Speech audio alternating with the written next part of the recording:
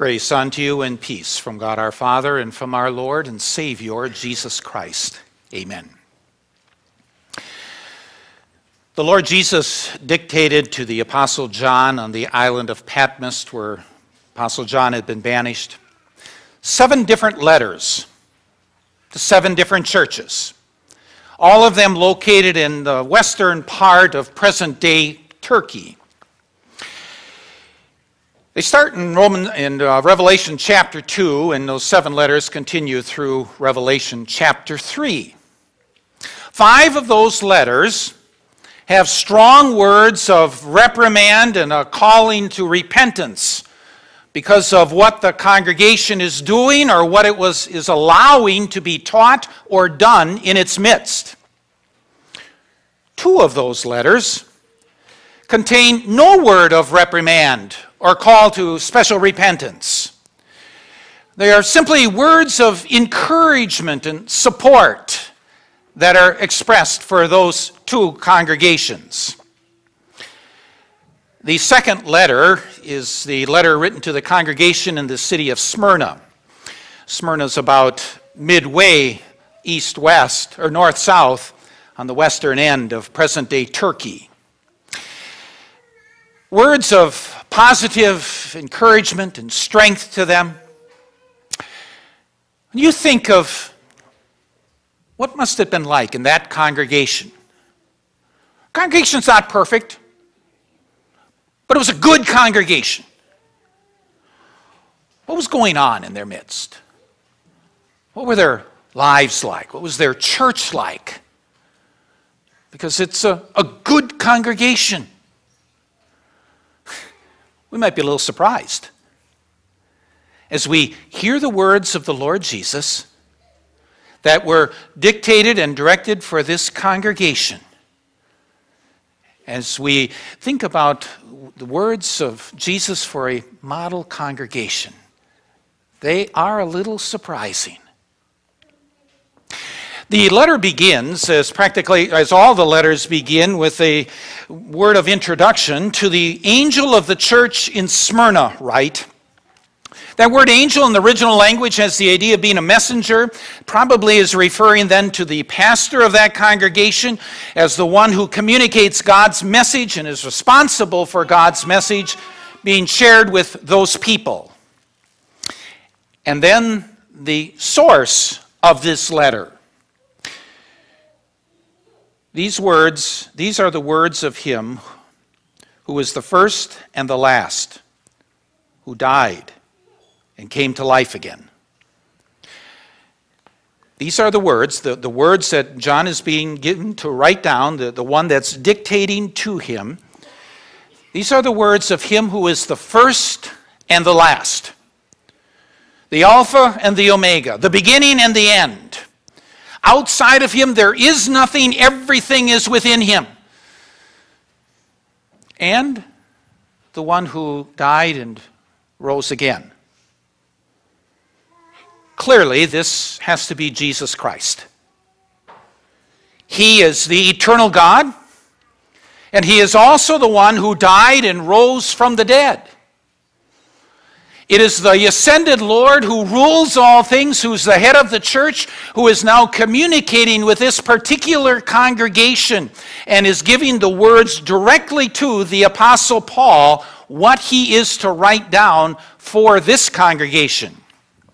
After identifying from whom these words are coming, he says, I know your afflictions and your poverty, yet you are rich.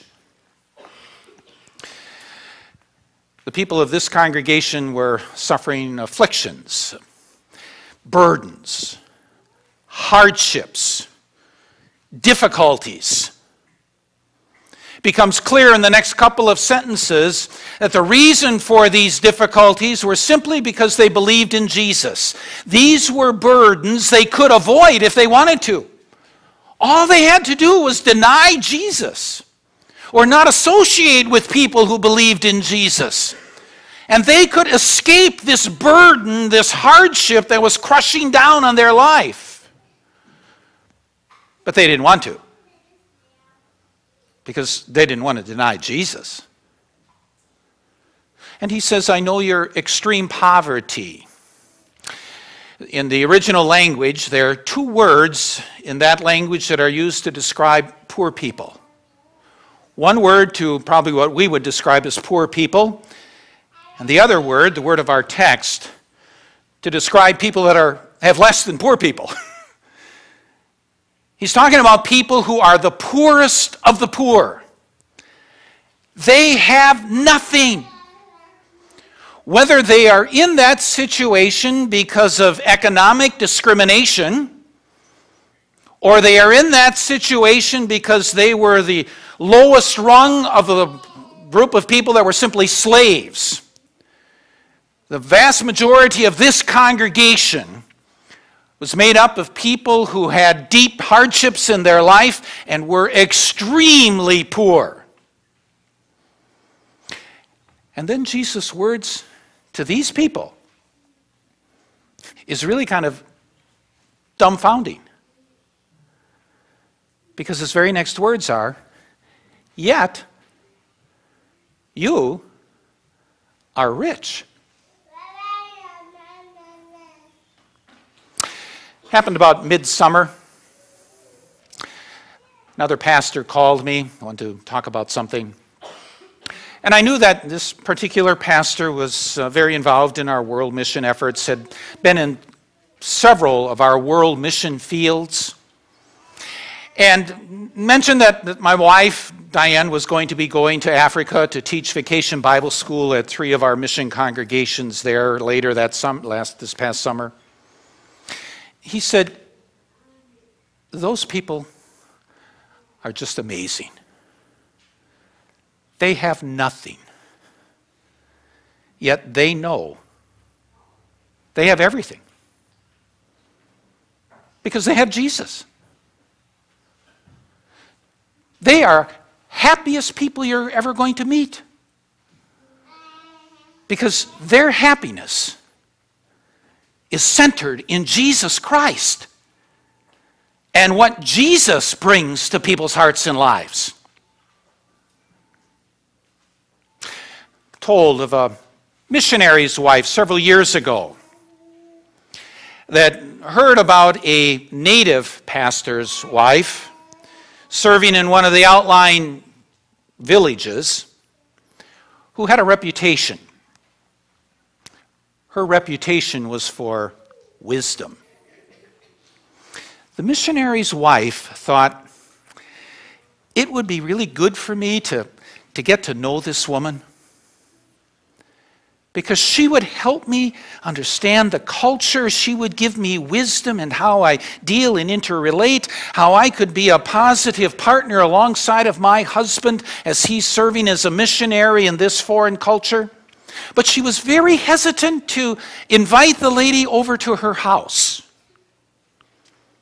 You see, the setting is our missionaries in Africa have far, far less stuff than we do.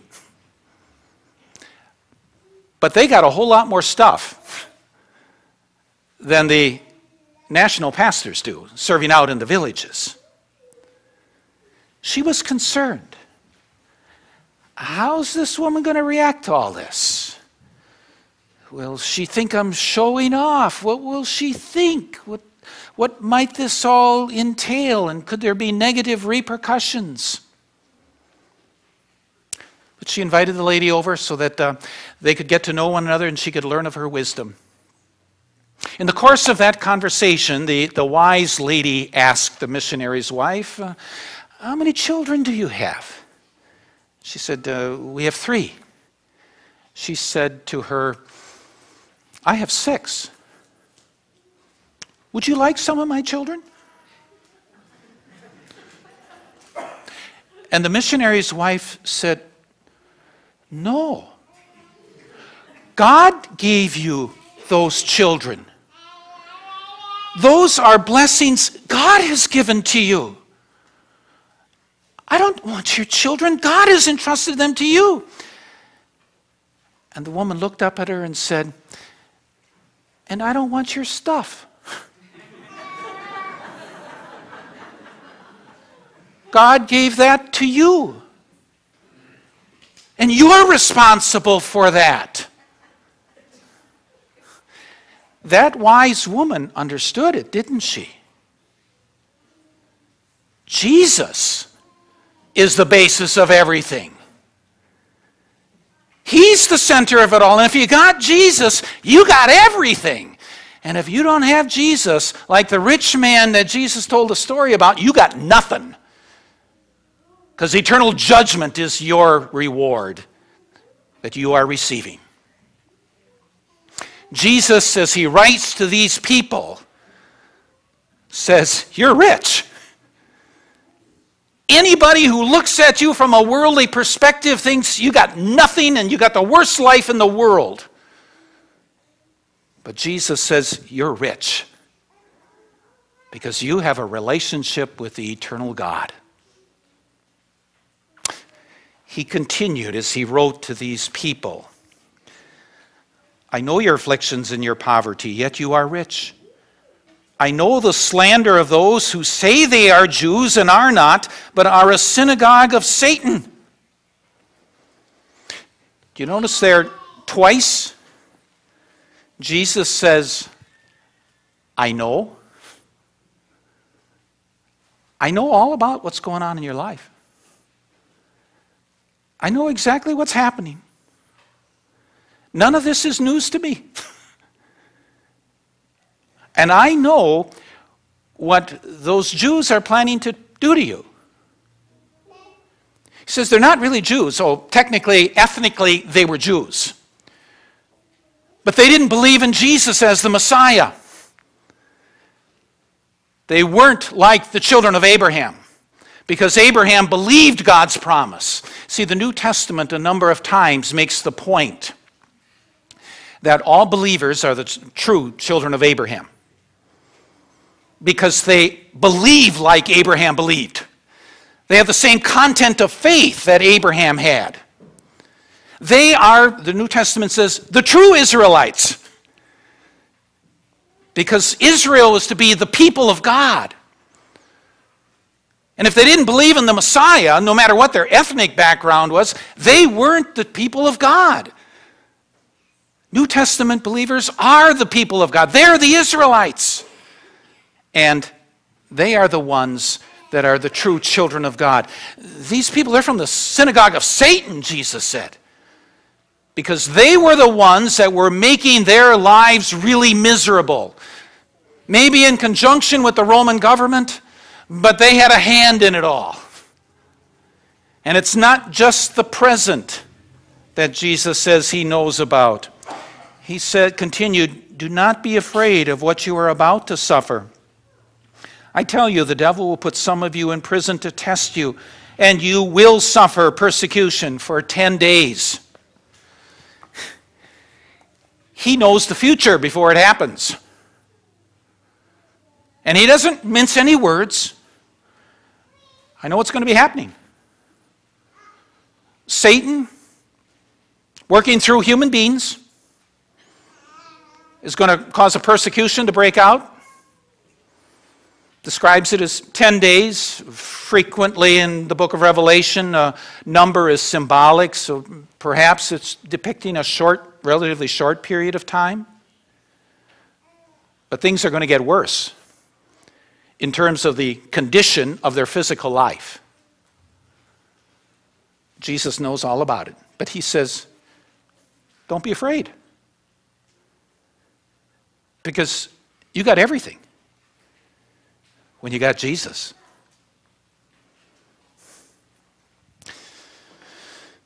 Do we have to say,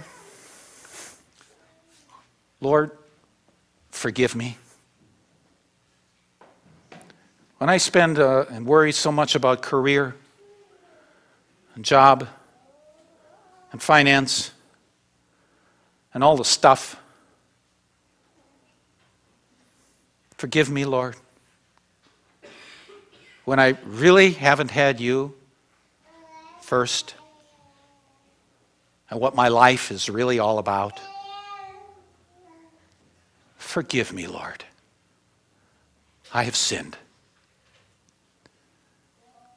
And that Savior comes because he suffered and died for us and for all to pay for all of our guilt. And in assurance of his forgiveness, he says, Don't be afraid. Oh, maybe things won't get better in our lot in life. But we can be assured Jesus knows all about it, doesn't he? Do you find that comforting? To realize Jesus knows exactly what's going on in my life. He knows the hardships and the difficulty that is there. But I still have everything when I know Him and His forgiveness and His promises. Oh, there's a tremendous amount of comfort in those simple words. I know. Because we can apply them to ourselves. And we can apply the promise that He makes to believers. Because He says in the very next words, Be faithful, even to the point of death, and I will give you the crown of life. Be faithful. Continue to follow Jesus. Continue to trust in Him. And even if that involves somebody killing you because of your faith, be faithful. I will give you the crown of life. See, there are far worse things that can happen to a person than being martyred for the Christian faith. And that's to fall away from the Christian faith and lose eternal life forever. Be faithful, he says, in me. And you don't earn eternal life. Even enduring persecution and being a martyr, he doesn't say, You deserve eternal life then. He says, I'll give you the crown of life. It's still totally by grace, undeserved, that that promise is made with absolute assurance that we can have total confidence in. And then he captures it all with the final words He who has an ear, let him hear what the Spirit says to the churches. He who overcomes will not be hurt at all by the second death. When people are born into this world, they're spiritually dead. They're born sinful, they're separated from God. They have no relationship with God. This morning, we witnessed a miracle of God. As He promises through the power of baptism and that word spoken and water applied, the Spirit creates faith in a little child. How unbelievable is that? But yet true. So that that child becomes a child of God. Where there was spiritual death, there's now spiritual life. As faith in Jesus Christ is generated within that person. The person that remains faithful in Jesus continues to believe and follow, trust in Him. The second death has no power at all over that person. See, the first death was spiritual, the second death is physical. But that death has no power over the believer at all because we are given the crown of life. We are given life everlasting, given only to the believer in Jesus Christ as Lord and Savior from sin.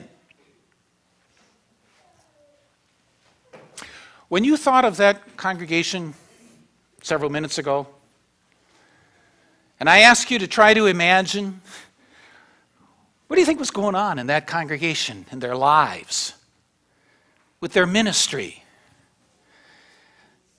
we have a tendency to think of it so worldly, don't we? But God always looks at the heart. This was a good congregation. Not because their earthly lives were going wonderfully and they looks like they're going to have a rosy future.